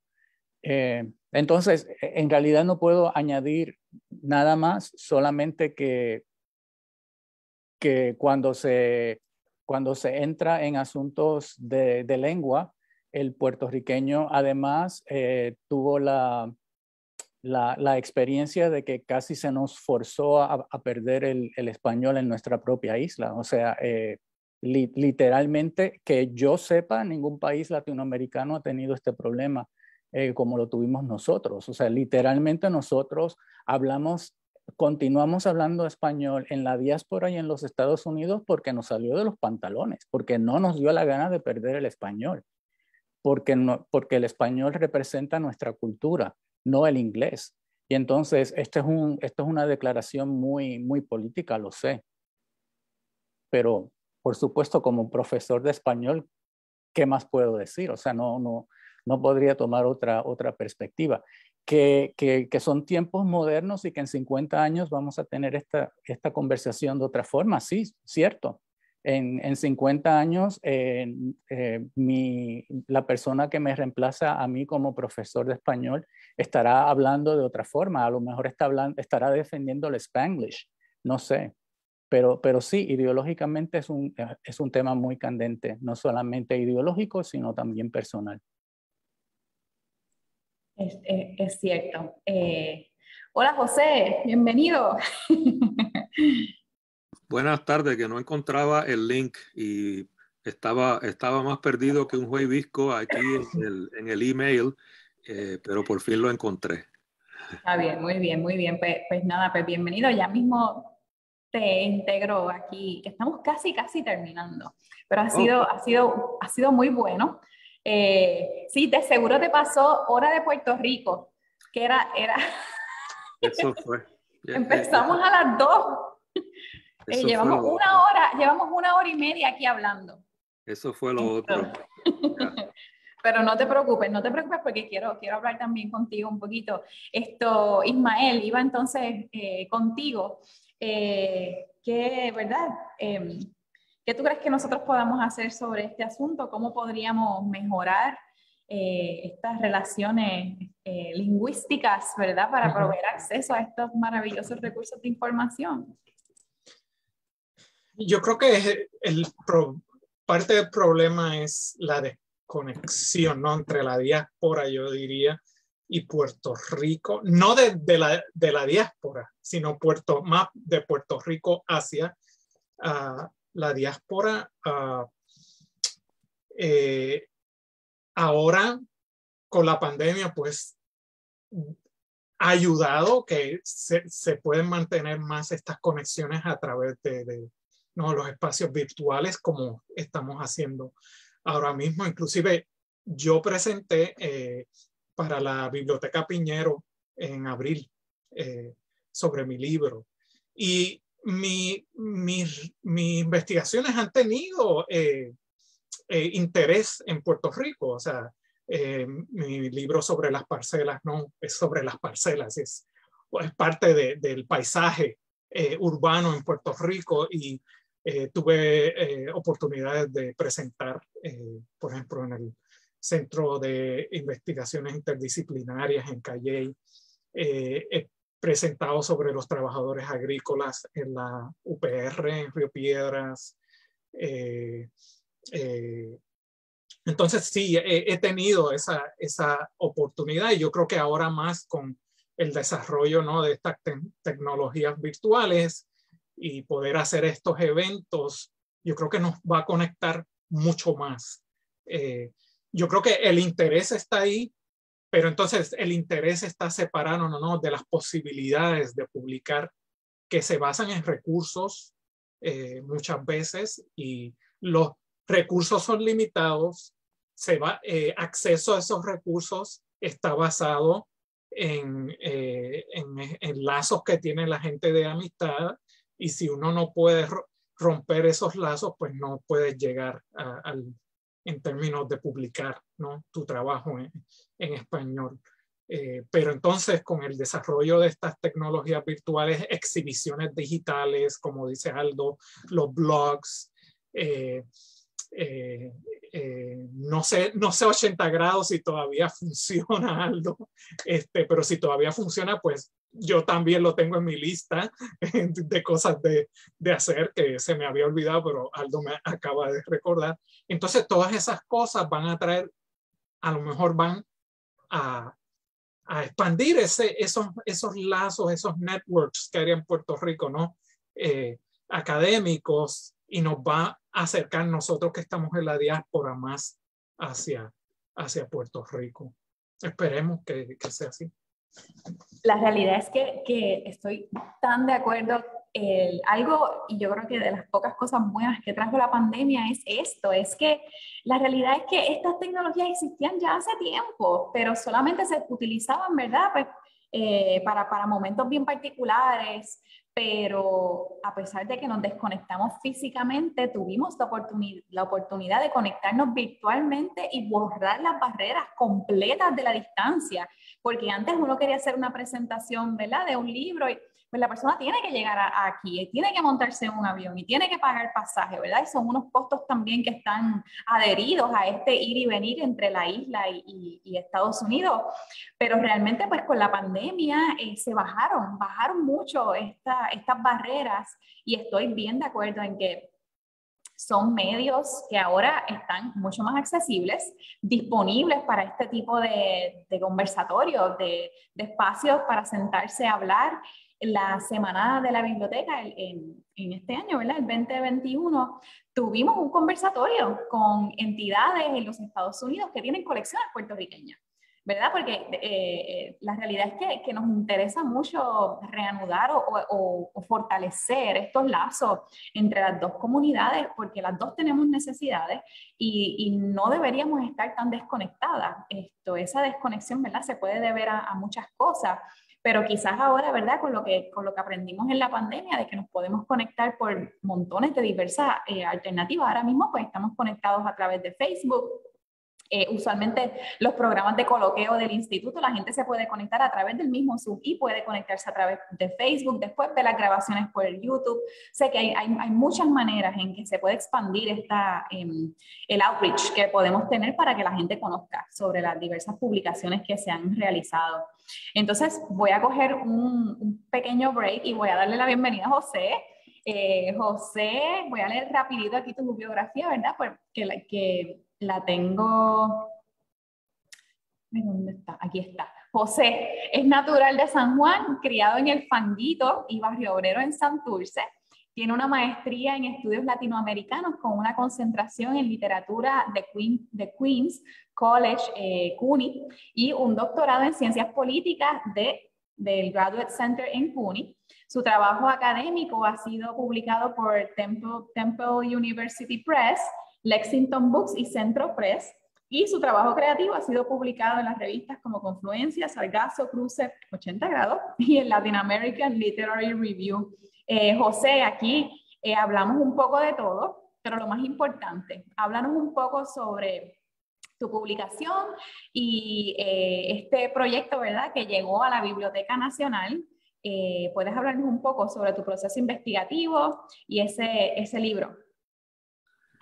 Pues bien, mira, yo, mi primer libro, Identity and Power, salió publicado en el 1998.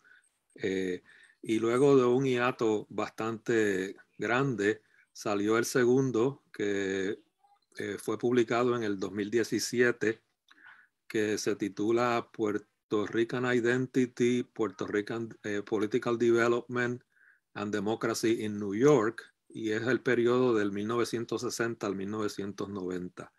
Y entonces durante ese mismo periodo eh, queda cubierto el, el, tercer libro que salió en el 2019, que se llama eh, Liberalism and Identity Politics, liberalismo y política identitaria, y el subtítulo es eh, Puerto Rican Community Organizations eh, and Collective Action in New York City.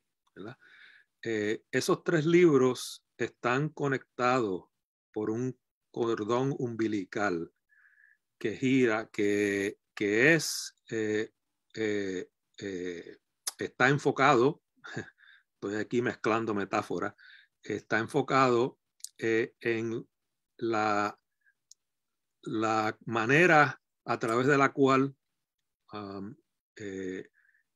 la identidad étnica se utiliza con propósitos políticos para efectos de organización, comunitaria ah, eh, para efectos de organización de tipo más eh, partidista, electoral, con el, el propósito de obtener representación dentro de las estructuras de representación política eh, en, en, ambientes urbanos y con el propósito de obtener tener reivindicaciones sociales, económicas, eh, eh, que resultan ¿no? de procesos de racialización, marginalización, eh, de desventaja económica y social. So, ese es el tema básico ah, de los tres libros. Y los tres libros, pues por supuesto, se enfocan en, los puertorriqueños, eh, el primero es un libro eh, basado en la experiencia de los puertorriqueños en la ciudad de Hartford, Connecticut. Eh, y los otros dos, pues, son sobre los puertorriqueños en Nueva York, en la ciudad de Nueva York, durante esos, durante ese periodo de 1960 al 1990. Eh, son investigaciones, los tres libros son investigaciones cualitativas eh, en las cuales eh, yo recurrí a la, el análisis de fuentes secundarias, el análisis de fuentes primarias en archivos, este, entrevistas y, y trabajo de campo, como quien dice, eh, trabajo etnográfico de, participación, ah, de observación participativa, participant observation. Este, el participant observation fue más en el, en el caso de Hartford, Connecticut, a donde yo viajaba eh, durante el tiempo de la investigación eh, a la comunidad puertorriqueña participaba de reuniones, iba, frecuentaba los lugares donde se, se hacían actividades, este, compartía con gente de la comunidad envuelta en el proceso político, etcétera, etcétera. Nueva York, que es pues un, un monstruo aparte ese, ese tipo de trabajo pues era más, más difícil y, y, y, de hecho en el caso de Nueva York ya pues por definición este, eso no era posible porque eh, eh, pues hubiese yo tenido que montarme en una máquina del tiempo eh, para estar allí en los años del 1960, 80 y 90 envuelto en las actividades de la comunidad. Mientras que en el caso del libro de Hartford, pues el libro, eh, el punto de cierre del libro es el año de 1993, o sea que yo, yo fui parte, ¿no? Eh, eh, a través de la participación, de la observación participativa de los procesos políticos en los que la comunidad estuvo envuelto entre el 1989 y el 1993. Eh, los, los tres libros, pues, eh, eh, fundamentan la tesis de que la política identitaria no es algo que es necesariamente nocivo, patológico, antidemocrático, peligroso, este, siempre y cuando la política identitaria se desarrolle conforme a eh, las reglas eh, del orden institucional establecido. Eh, eso puede sonar un poco conservador, pero a, lo que yo me refiero con eso no es, digamos, respetar las reglas del orden establecido que violan los derechos de los participantes o que impiden su participación o que resultan en tratos desiguales, sino más bien eh, participación dentro de las reglas del orden, del orden establecido, en tanto y en cuanto esa participación es eh, conforme a lo que Richard Hofstadter, un politólogo norteamericano, eh, califica como eh, la, oposición legítima, que es la oposición que respeta las normas constitucionales, que es eh, efectiva y responsable.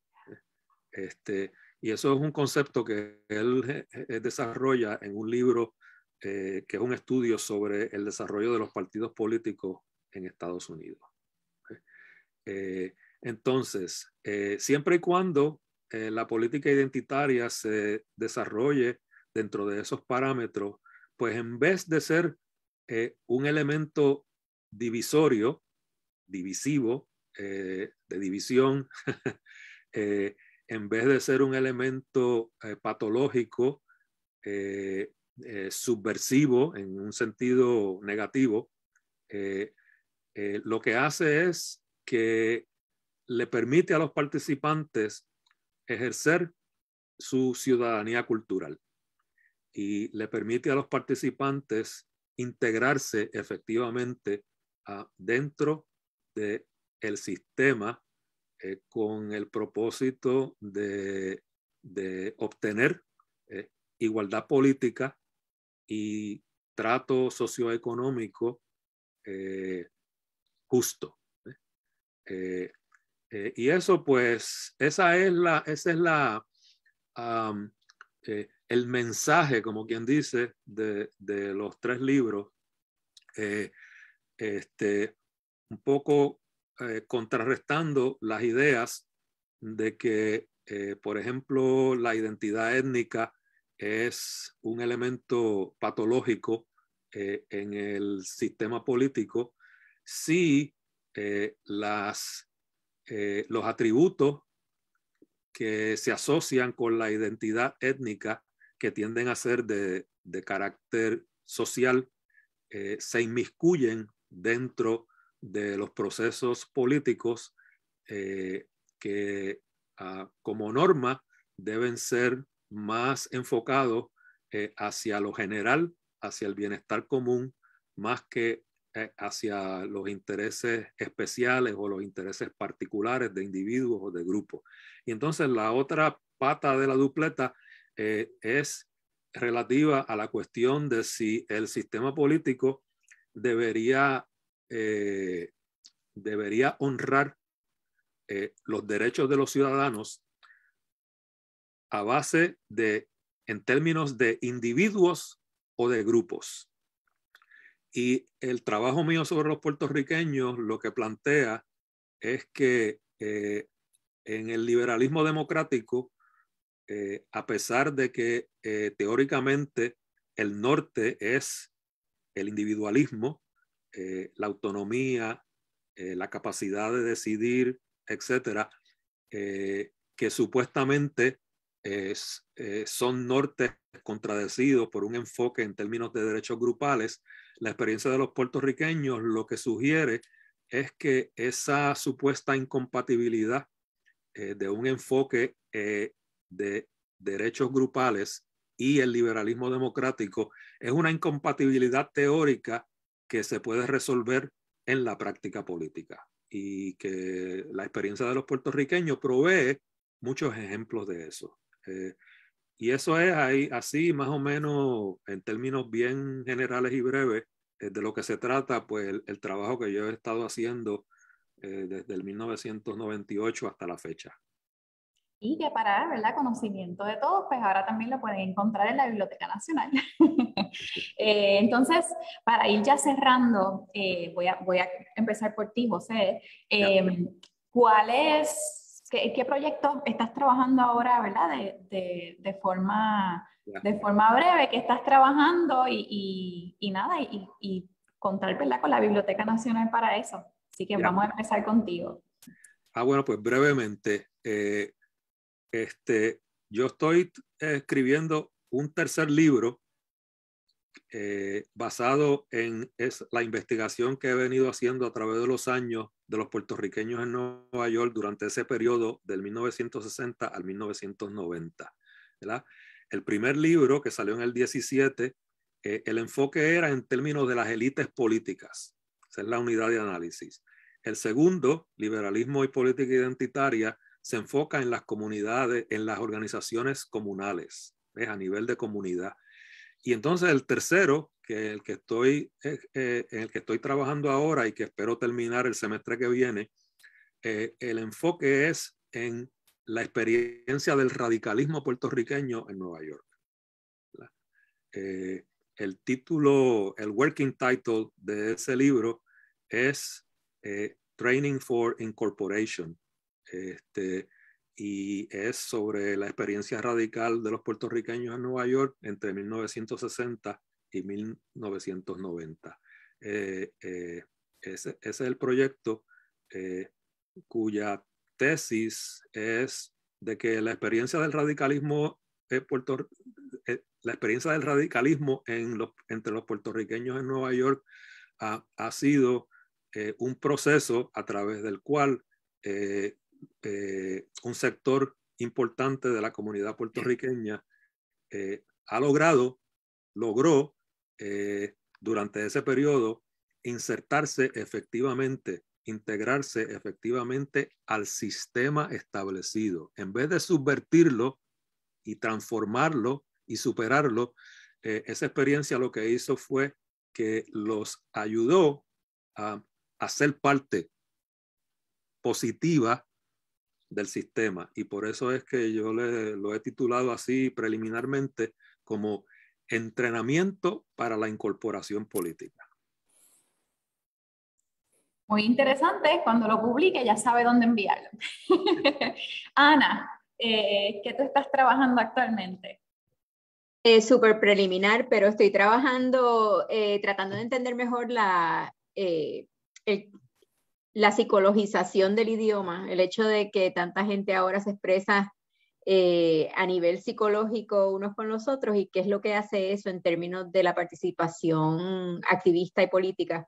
Y para hacer eso estoy haciendo etnografía con, con unas cuantas, unos cuantos eh, life coaches eh, y sus coaches, las personas con quienes ellos trabajan. Y explorando también ese tipo de nicho laboral que ha surgido y se ha, y se ha expandido a raíz en parte de la pandemia. Interesante. Aldo. Sí, eh, yo tengo un libro que va a salir con el University of North Carolina Press, que es la historia de la comunidad puertorriqueña en Nueva York, eh, la primera migración y la segunda generación que creció en los años 20, 30 y 40. Entonces cubre más o menos hasta los 50, pero no cubre la migración eh, que llegó después de la Segunda Guerra Mundial. Y ese es otro volumen que tengo en proceso y es más o menos, los dos volúmenes tienen un énfasis de, de clase social y de clase trabajadora y de lugares de trabajo y sindicatos y política radical. Eh, y un poquito un trabajo que, que, que, no sé qué voy a hacer, que es un, un, análisis de los, de los motines urbanos puertorriqueños en distintas ciudades, especialmente en Nueva York, que no sé si será un librito, será un artículo. Y con Rutgers University Press sale el año que viene un libro sobre una colección de ensayos coeditado con una colega de Rutgers que se llama Ula Berg, eh, sobre latinos en Nueva Jersey. Excelente. Eh, Rafael. Rapidito, eh, tengo el honor de trabajar en otra antología, pero esta vez es una antología sobre mi mentora. Creo que ya hablé un poco sobre ella, Judith Ortiz Cofer. Judith Ortiz Cofer hizo su carrera eh, académica en la Universidad de Georgia. Como mencioné, fue la, una de las primeras latinas nominadas para el premio Pulitzer. Eh, la antología será publicada por la University of Georgia Press y será una antología con una introducción en la cual presento el desarrollo narrativo de Judith Ortiz Cofer desde su primera novela, que fue la novela que le ganó la nominación al premio Pulitzer, eh, The Line of the Sun, que fue traducida por la Universidad de Puerto Rico como La Línea del Sol. Y voy a terminar con, su, con sus memorias, que concluyó literalmente casi moribunda a, raíz de, la, de, la, muerte de su madre. Eh, si no han leído eh, esta biografía, se llama um, a Cruel Country, deben de leerla. Es posiblemente una de las piezas autobiográficas más preciosas que se haya publicado eh, por un autor latino y, en nuestro caso por una boricua. Excelente. Ismael. Sí, este, esperando que a ver si la pandemia algún día eh, termina y puedo regresar a los archivos y al, y el campo, ¿no? A hacer investigación. Eh, pero eh, mi intención es, es, más explorar la migración de los trabajadores agrícolas en una forma más comparativa con otros grupos en los Estados Unidos y con otros migrantes coloniales en el mundo.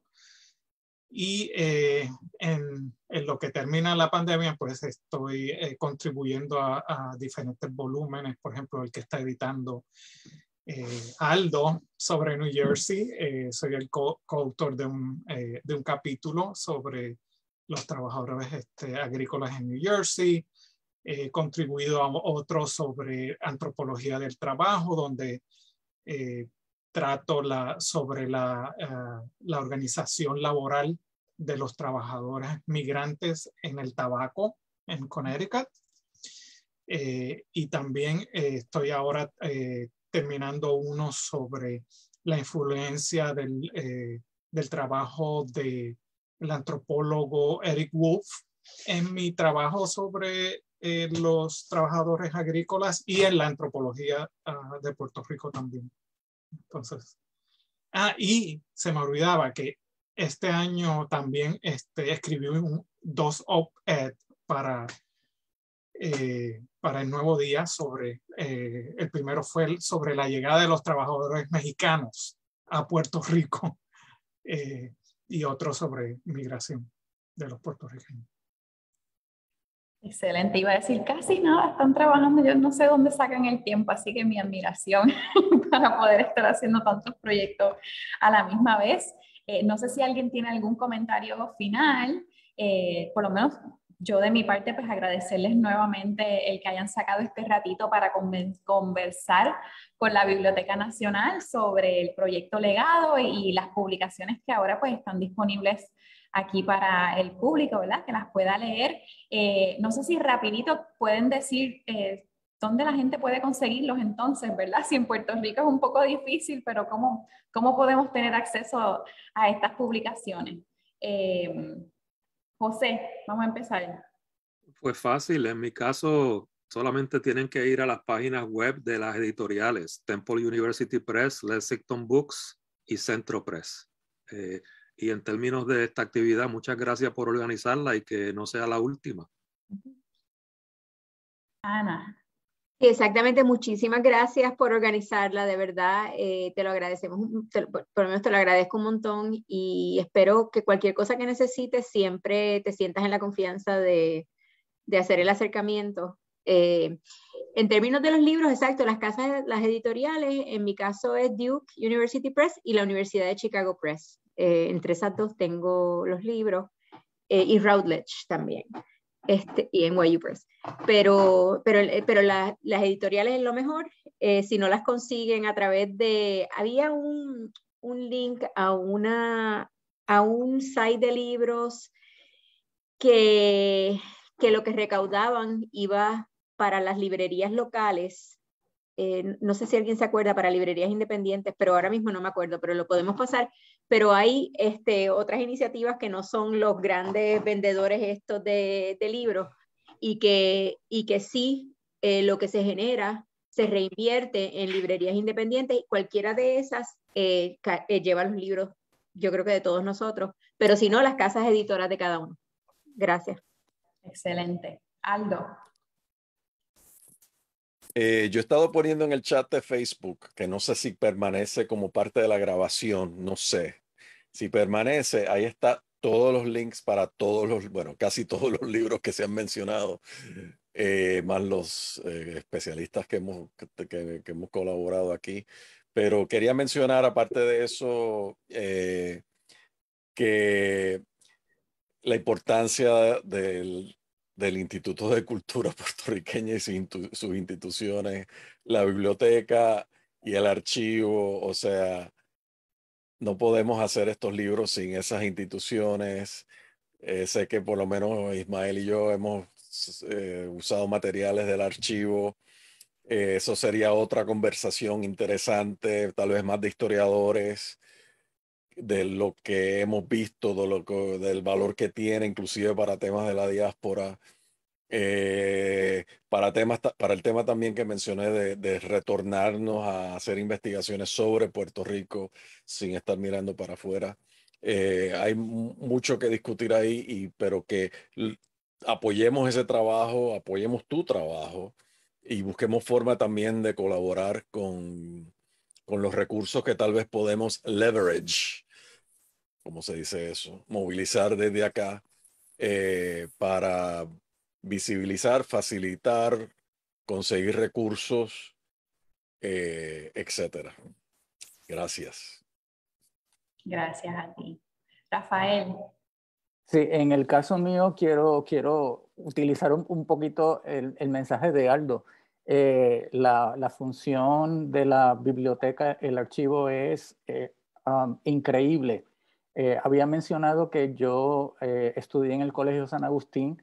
Yo era residente de eh, el residencial El Falansterio y desde, desde niño visitaba las facilidades del archivo. Todavía sigo visitando las facilidades del archivo y me veo como este estudiante de, de quinto, sexto, séptimo grado cuando entro porque literalmente son las mismas puertas que había cuando yo, tenía, cuando yo estaba en quinto, sexto, séptimo grado, así que agradezco mucho eh, e, esta conexión no solamente académica, sino en el caso mío personal.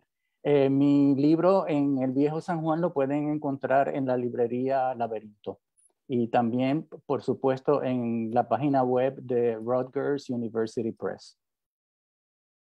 Perfecto. Ismael, cerramos contigo. Sí, eh, muchas gracias por la oportunidad. Eh, el Instituto de Cultura Puertorriqueña es, o sea, mi libro es gracias ¿no? a las facilidades que, que tiene el Instituto de Cultura Puertorriqueña. Y mi carrera, créanlo o no, yo recibí una beca que tenía el Instituto de Cultura Puertorriqueña para estudiar antropología. Eh, y eso fue en el 92 y 93.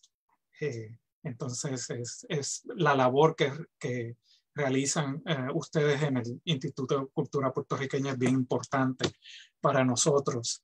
El libro lo pueden conseguir como igualmente que mis colegas este, en University of California Press, uh, University Press of Florida y también pídanlo en las, en las librerías. Este, yo ahora voy a visitar Puerto Rico y les voy a estar eh, mencionando sobre mi libro y ojalá que luego en el próximo año también pues, pueda visitar Puerto Rico y, y ya se puedan eh, realizar algunas presentaciones en persona. Gracias. Gracias, gracias a cada uno por sacarse cita eh, y, ¿verdad? Gracias también por destacar la labor del archivo y de la biblioteca. Eh, a veces a la gente se les olvida eso, ¿verdad? Que hacen sus investigaciones, pero ¿sobre qué? Sobre los documentos históricos, ¿verdad? Sobre los recursos que se han preservado por todos estos años y que pues gracias a que están disponibles pues podemos tener estas nuevas producciones y estas nuevas miradas. Así que gracias por destacar eso y nuevamente, ¿verdad? Gracias Aldo y vamos a seguir regando la voz para que otros puertorriqueños y puertorriqueñas que están en la diáspora se acuerden de la Biblioteca Nacional como un espacio desde donde podemos proveer acceso a sus publicaciones, ¿verdad? Para beneficio de todos ahora y después. Así que nada, que tengan unas bonitas semanas. Si tienen receso, que disfruten su receso. Y aquí a la orden. Gracias.